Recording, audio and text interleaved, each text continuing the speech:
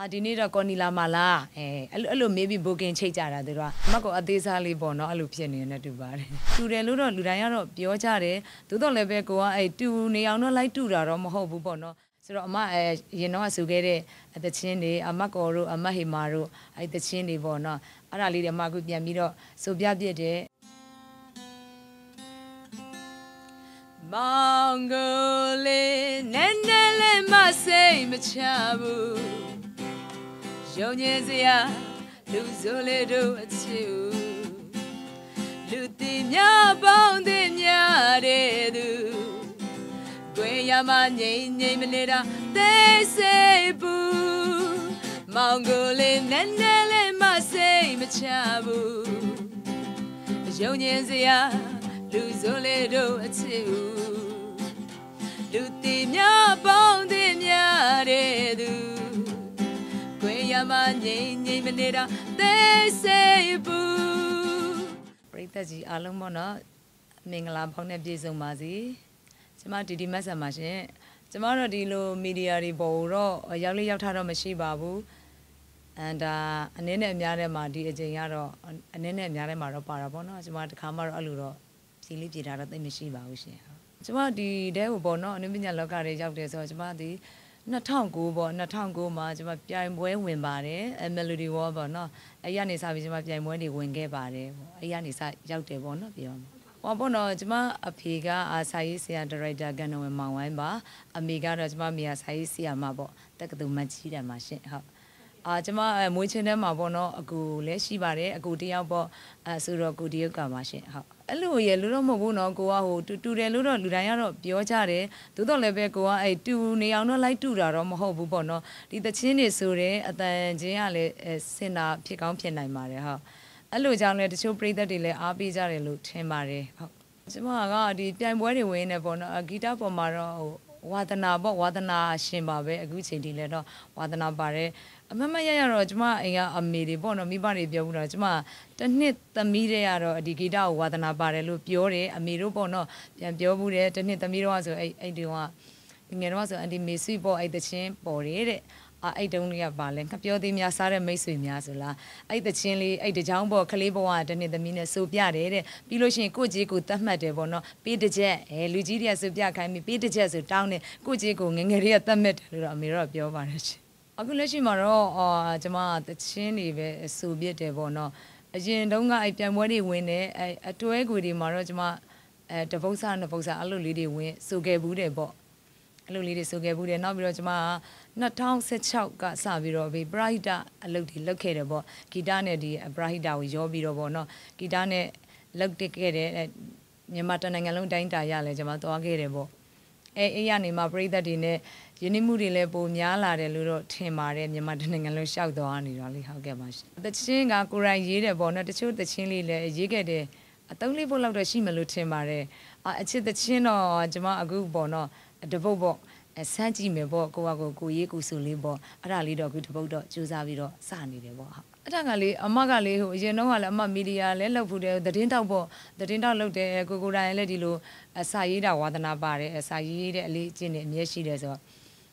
အဲ့လိုစာရေးရင်းနဲ့ပဲဒီဒီငါဒီတချင်းလေးတော့ဟိုဘာမှတော့မလုပ်တတ်ပါဘူးဒီတချင်းလေးကိုပေါ့နော်အဲ့တချင်းလေးလုပ်ဖြစ်ပုံကလည်းအာတနေ့အမေကအဲဟိုဟင်းချက်ခိုင်းလို့မိဖို့ကြောင့်တော့မှဟင်းချက်နေတာချက်နေနဲ့စိတ်ကူးတွေထဲမှာ ပေါ်ပေါ်လာပြီးတော့ပေါ့နော်အတွေးတွေကပေါ်လာပြီးတော့ဟင်းချက်လိုက်အဲစာသားလေးတစ်ကြောင်အော်ခေါင်းထဲမှာပေါ်လာလိုက်သွားရေးလိုက်အဘေးနားမှာဟင်းလေးပြန်ချက်လိုက်အဲ့လိုရင်းနဲ့အဲ့တပုတ်လုံးကအဲ့ဟင်းလက်ချက်ပြီးတော့အဲမိဖို့ကြောင့်လည်းမအဲ့တချင်းတပုတ်လုံးလည်းပြီးသွားရောအဲ့လိုအဲ့လိုအမကတော့ပေါ့ဟိုအေးအေးတာလားမပြောတတ်ဘူးအမပုံစံပေါ့နော်တချို့တွေကလည်းလာလာမေးကြတာအဲကလေးကတအားအေးတာလားပေါ့နော်မဟုတ်ဘူးအမဒီပုံစံလေးအတိုင်းပဲအမနေတာပေါ့ချို့တွေကလည်းအီတီအေးဆက်ကြီးပေါ့အီတီအေးဆက်ကြီးလို့မဟုတ်ပါဘူးကိုပုံစံနဲ့ကူပေါ့နော်ဒီလိုလေးပဲအမနေတတ်လို့ပါပေါ့ အဲ့လိုအကြောင်းအမေကနောက်ကနေပြီးတော့တွန်းထိုးနေရတော့ပေါ့အဲ့လိုပုံစံလည်းဖြစ်ကောင်းဖြစ်မှာအရှိပါတယ်အဲ့ဒါလည်းအမေပဲပူစားမှာပေါ့နော်ဘာမှမထောက်ပံ့တယ်အမေရှင်အယူတွေအရမ်းများနေပြီအမအဲဂီတနဲ့ပတ်သက်လာရင်အမစိတ်ကပျော်တယ်ဆိုတော့အမပျော်တယ်လို့ပဲကျန်တဲ့လူတွေကိုလည်းအမပျော်စေခြင်းတယ်အဲအဲ့ဒါကြောင့်အမပြန်ပြီးဝေးမျှနေတာပေါ့နော်ကို့အပျော်တွေလည်းသူတို့ပြန်ပြီးတော့ပျော်တယ်ကိုပျော်တယ်လို့သူတို့ပြောအောင်ဆိုအမဝေးမျှတဲ့သဘောနဲ့ယူသွတ်တာပါရှင် အမကဘယ်လိုသချင်းလေးတွေဆိုလဲဆိုတော့အခုခေတ်ခင်းနဲ့ညီတဲ့သချင်းလေးတွေပေါ့နော်ဟိုအမများသောအားဖြင့်ဆိုပြစ်တာကတော့အခုခစ်ပေါ်တွေတော့အမသိပ်ပြီးတော့အခုနောက်ပိုင်းတွေထွက်ပါတယ်အဲတိတ်ပြီးတော့လေကိုနဲ့တိတ်ဟာဇာတာတိတ်မတည့်တာလားကိုကပဲအသက်တွေကြီးလို့လားတော့မပြောတတ်ဘူးအဲတိတ်တော့နားတဲ့အဲမလုပ်ဖြစ်ဘူးပေါ့ဆိုတော့အမအဲရင်တော့ဆူခဲ့တဲ့သချင်းတွေအမကော်တို့အမဟေမာတို့အဲသချင်းတွေပေါ့နော်အဲ့ဒါလေးတွေအမအခုပြန်ပြီးတော့ဆိုပြပြစ်တယ်အဲ့တော့ ဟိုကလူကြီးလူလက်ပိုင်းတွေလည်းသူတို့သဘောကျတယ်ပေါ့ဆိုတော့ဘာလို့သူတို့နဲ့ရင်းနှီးပြီးသားသချင်းတွေကိုဒီကလေးကပြန်ပြီးတော့အခုချိန်မှာပြန်ဖော်ထုတ်ပြီးတော့ဆိုပြတယ်ဆိုတော့သူတို့အတွက်ပြန်ပြီးဟိုပြည့်ရွှင်မှုတစ်ခုပေါ့အစ်စ်လေးပြန်ရတယ်ပေါ့အဲ့အတွက်လည်းအမရှင်းနေပါတယ်ရှင်ဟုတ်အမကဟိုအဲ့လိုရလို့မဟုတ်ဘူးရှင်အမအကုန်လုံးတော့ကြိုက်ပါတယ်ဆိုတော့အမအကြိုက်ဆုံးကတော့ဟိုပါကိုငချင်းကိုချင်တာတော့မဟုတ်ဘူးပေါ့နော်အမအကူပေါ့ကိုဒီယုတ်ကောင်တော့ကြိုက်တယ်သူတချင်းတွေကိုအမဆူလည်းမဆူတတ်ပါဘူးသို့တော်လည်းပဲကြိုက်တယ်အ သူတို့တော့ကြိုက်တယ်တန်တဲ့အိဆိုတော်ကြီးတွေအများသောဖြင့်လည်းအမအကုန်လုံးကြိုက်ပါတယ်ရှင်ဟုတ်ယောက်ျားလေးတချင်းတွေမှာဆိုဦးညီထွက်တချင်းတွေတော့အမအများဆုံးဆိုပြပါတယ်ဆိုပြတယ်ပြိသက်ကလည်းအသဘောကျတယ်ပေါ့အခုနောက်ပိုင်းတော့အမတ်ကော်ပေါ့မတ်ကော်တချင်းတွေဆိုပြတယ်အဲလက်ခံကြတယ်ပေါ့အကျေးဇူးလက်တင်ပါတယ်ပရိသတ်အားလုံးကိုဟုတ်ကျမကဒီဟာဂီတနဲ့ပတ်သက်ပြီးတော့ကျမအလုံးမလုံးသေးတာကဒီဟာ2020ပေါ့ကိုဗစ်တွေဖြစ်တော့အနားသွားတယ်ပေါ့နော်ဆိုတဲ့အပိုင်းနေအာဒီဒီဒီနှစ်ထဲမှာပဲနှစ်လပိုင်းလောက်ကမှ ပြန်စစူပြစ်တယ်ပေါ့အဲ့ဒါလဲဟိုပါပေါ့အပြင်နေဆိုင်နေမှာတော့အလိုက်ဆိုရလို့တော့မဟုတ်ပါဘူးရှင်အဲ့ဟိုကျမတို့လှဲကူကပေါ့နော်အဲ့ချစ်ရတဲ့အမပေါ့အမ Iris လေးပြူကအဲ့သူရဲ့ Million House မှာပေါ့နော်အာညီမလေးအမတို့အကူကြီးလေးတစ်ချက်ပေးပါပေါ့နော်အဲ့နဲ့အမအကူကြီးတောင်းလို့အဲ့မှာဆိုင်မှာသွားပြီးတော့စုပေးပြစ်တာပါဟုတ်အပြစ်ပဲရှင်ဘာဖြစ်လို့ဆိုအမသွားပြီပေါ့နော်အဲ့အမဆိုင်ကိုသွားလိုက်ပြီးဆိုတာနဲ့အဲ့ဒီဟာလာမဲ့လူတွေ customer တွေက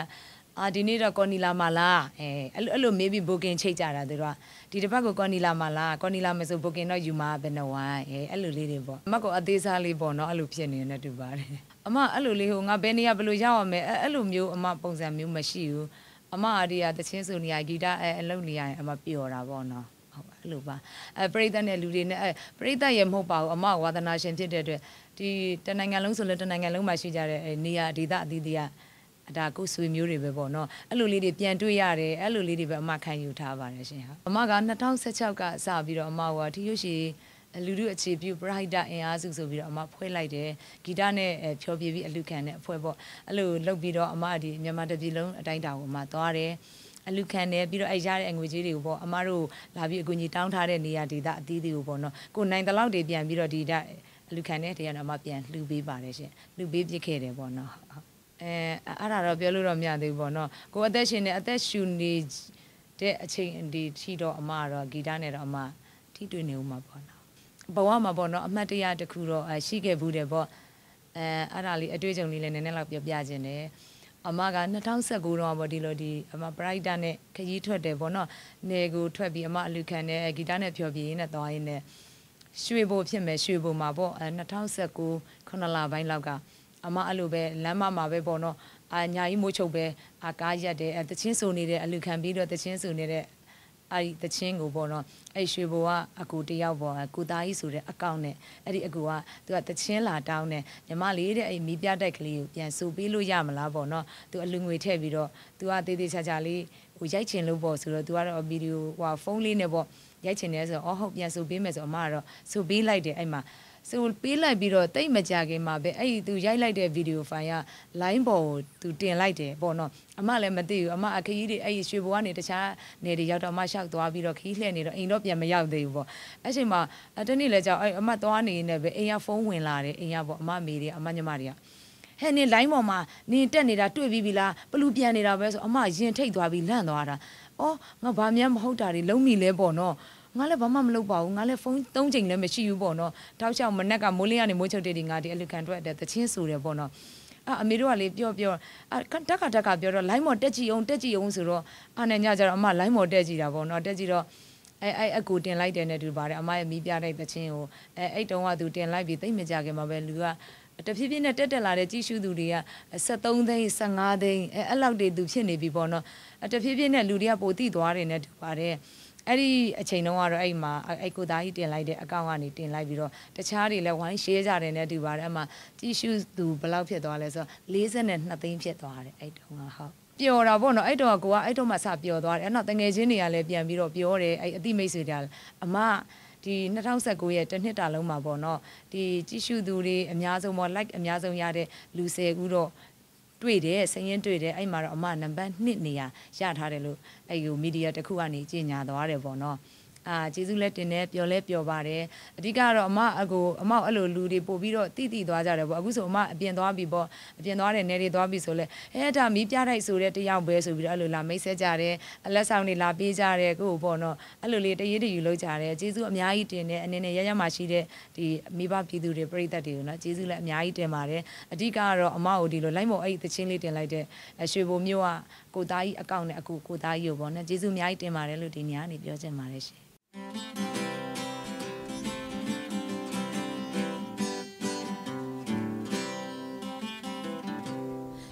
်နိုင်ပါရမီပြလိုက်ပေါ်ကိုရဲ့ဘွားကမောင်သူဆုံးမလောကကံပါအနေရလန်အတော်ကြီးမီလင်းတဲ့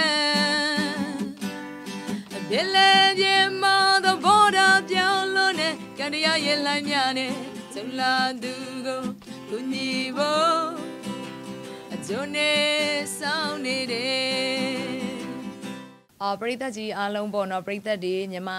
တနိုင်ငံလုံးမှာရှိကြတဲ့အနေနဲ့ရဲမှာရှိကြတဲ့မိဘပြည်သူများပေါ့တဦးတယောက်ချင်းစီတိုင်းစိတ်ကြီးချမ်းသာခြင်းကိုယ်ကြီးချမ်းသာခြင်းများနဲ့ပြည့်စုံနိုင်ပါစေလို့ကျွန်မဒီဒီမတ်ဆန်စုမုံကောင်းတောင်းရင်းနဲ့နှုတ်ဆက်ပါတယ်ရှင်